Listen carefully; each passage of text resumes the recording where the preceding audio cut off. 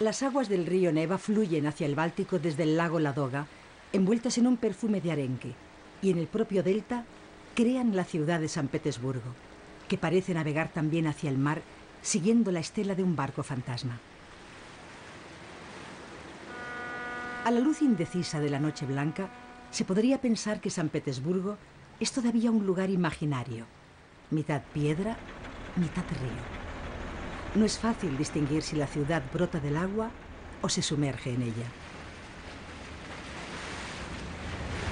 La corriente deja también atrás la memoria perdida de unos versos de Pushkin, un poeta que se enfrentó a la tiranía y se convirtió en un héroe romántico.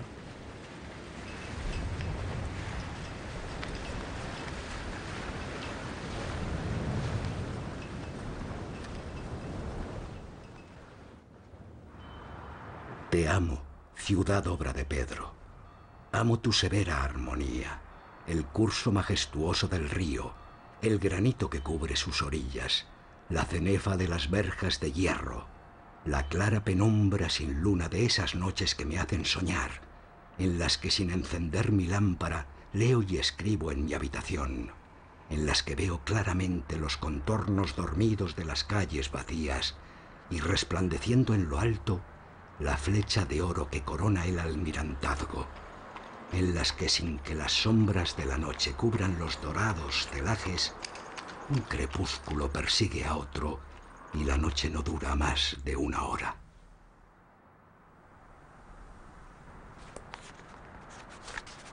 El poeta Pushkin es sin duda el héroe romántico de San Petersburgo, uno de los personajes más amados.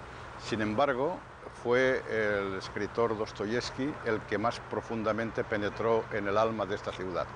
Dos de sus obras, Noches Blancas y Crimen y Castigo, nos van a servir para explorarla. Noches Blancas es una bellísima historia de amor, una historia de la esperanza que late en el alma de cualquier soñador. Por el contrario, Crimen y Castigo representa el lado oscuro de San Petersburgo, los burdeles, las tabernas, la asfixia moral, la miseria, la muerte y también la culpa de su principal personaje. Pero estamos en el solsticio de verano. Esta es una noche blanca, una noche feliz y a través de ella vamos a penetrar en el corazón de esta ciudad.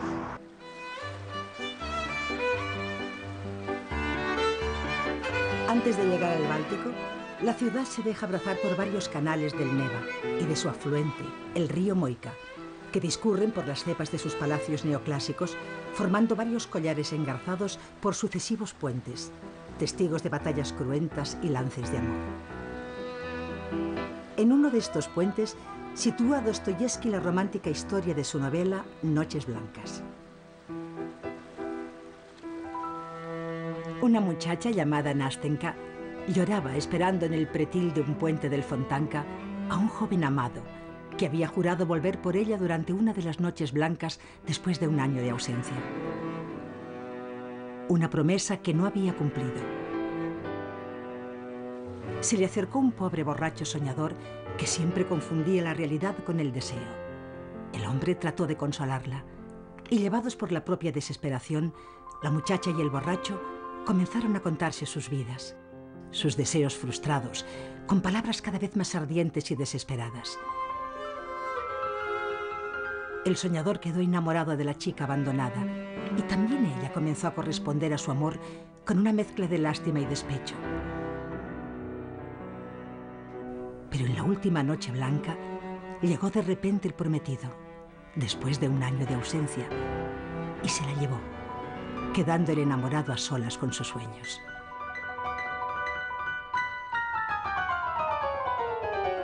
Mis noches terminaron con una mañana. El día estaba feo. Llovía y la lluvia golpeaba tristemente en los cristales. Quizá fuera un rayo de sol que tras surgir de detrás de una nube preñada de lluvia, volvió a ocultarse de repente y lo oscureció todo a mis ojos. O quizá la perspectiva entera de mi futuro se dibujó ante mí, tan sombría, tan melancólica, que me vi como soy efectivamente ahora. Dios mío, un instante de felicidad no es suficiente para toda una vida.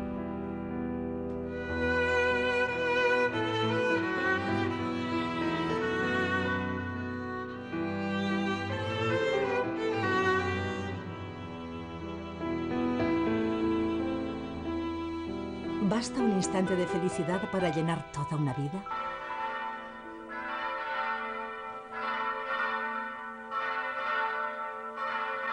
La noche blanca acaba de empezar cuando aún se halla todo el espacio brillando en el interior del fuego del atardecer.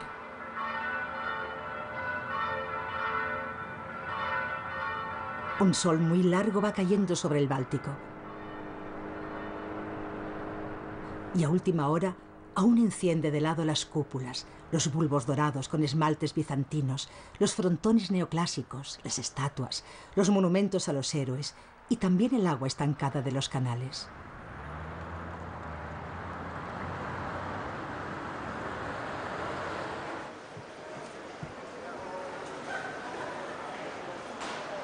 Se iluminan también las lujosas tiendas modernistas de la avenida Nevsky, que permanecerán despiertas hasta el alba.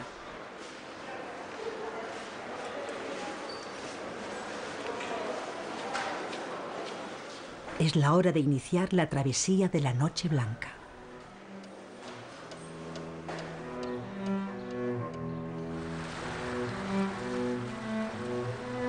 En esta travesía la guía será siempre la luz.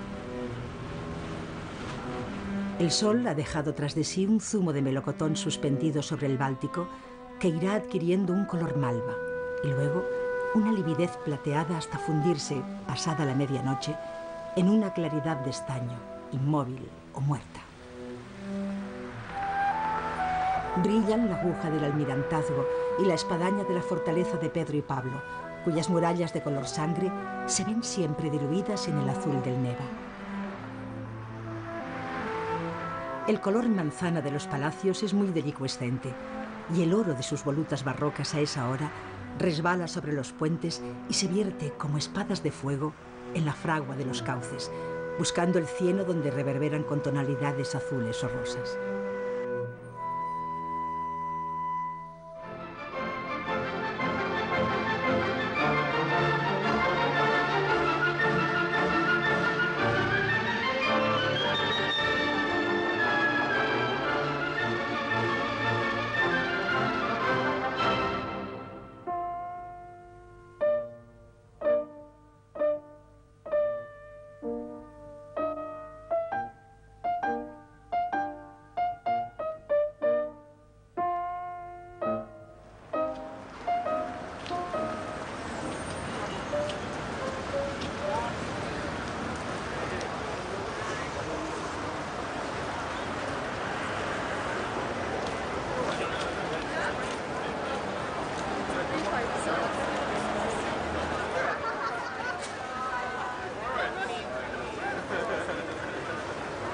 La representación del lago de los cisnes en el Teatro Marinsky es la mejor forma de iniciar este camino interior hacia una oscuridad imposible. Enseguida va a comenzar la fiesta y la perspectiva Nevsky, el nervio principal de San Petersburgo, pronto se llena de gente, que bajo las banderolas rojas, el símbolo de la felicidad del solsticio de verano, formará otro río en busca de los malecones y del puente del palacio.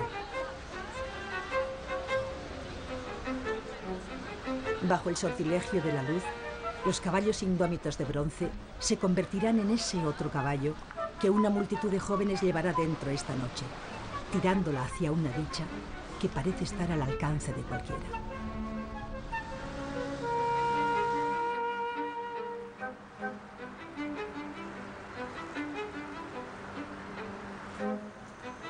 ¿Acaso un instante de felicidad no es suficiente para llenar toda la vida?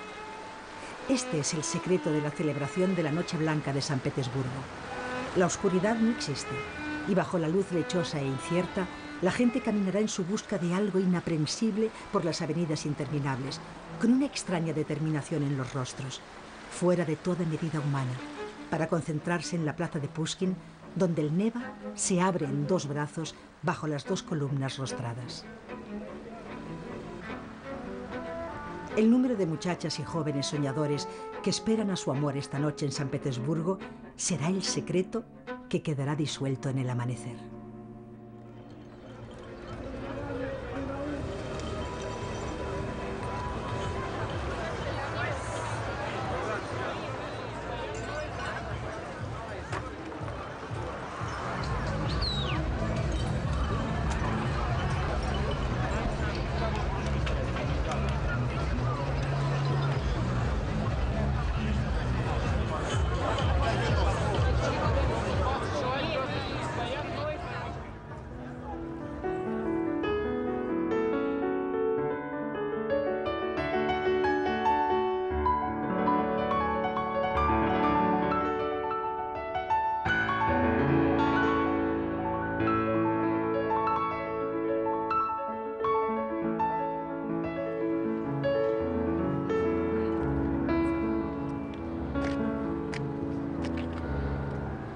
El solsticio de verano se celebran ritos de felicidad en todos los pueblos del mundo.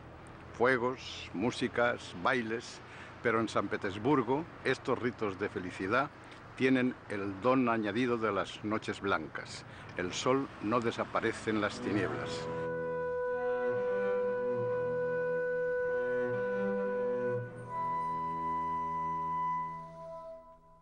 Esta es una noche blanca, la noche más breve del año, y hay que formular un deseo, que nuestros pequeños y efímeros placeres sean eternos o al menos que duren toda la vida.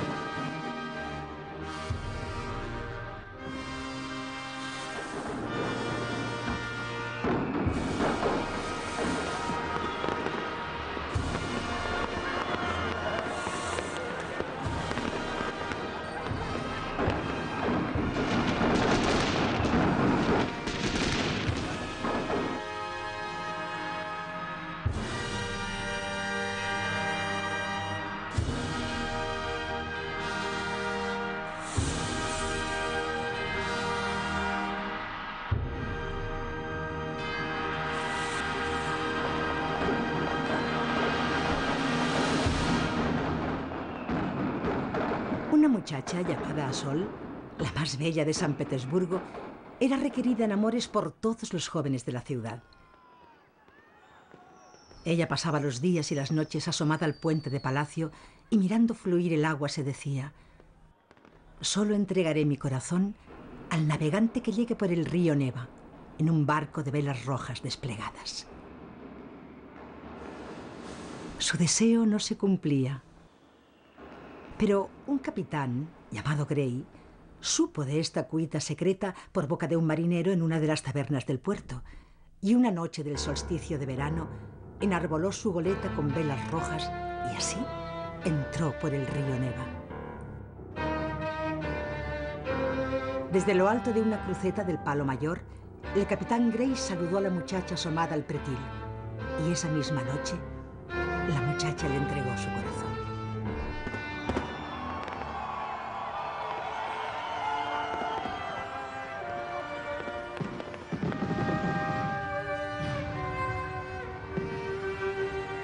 Esta leyenda cohesiona también los sueños de los habitantes de San Petersburgo esta noche.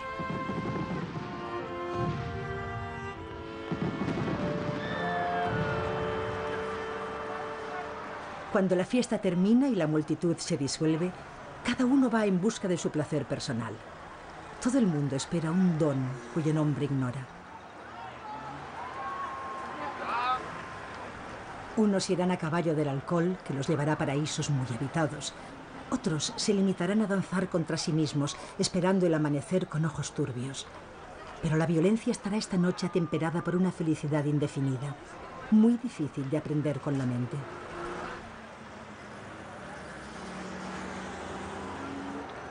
Las muchachas bailarán con la cabellera cubierta de flores. Las parejas harán el amor en los puentes del río. La música se abrirá por todas las esquinas y las pandillas empuñarán las botellas de cerveza como su última victoria.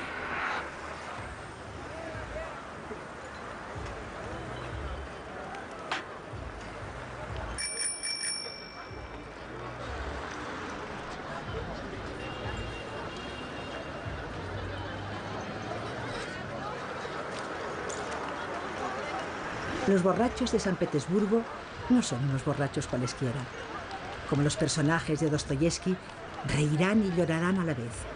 Y sus blasfemias serán una forma de oración.